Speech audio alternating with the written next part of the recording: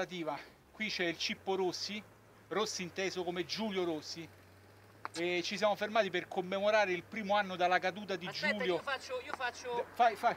Guarda, il primo anno dalla caduta di Giulio. E allora noi dobbiamo commemorare perché noi siamo delle persone che hanno memoria. La memoria è tutto. Del sangue versato per la patria Per la patria dei briganti, per la patria del turbike, Certo. Chi non ha memoria è condannato a ripetere il passato, quindi noi ci Ah, fermiamo. questa, oh, scriva, segna, segna. Evviva Giulio! Evviva Giulio! Giulio rimarrai sempre nei nostri cuori. Ti aspettiamo l'anno prossimo! Questa com'era? Chi non passa la storia passa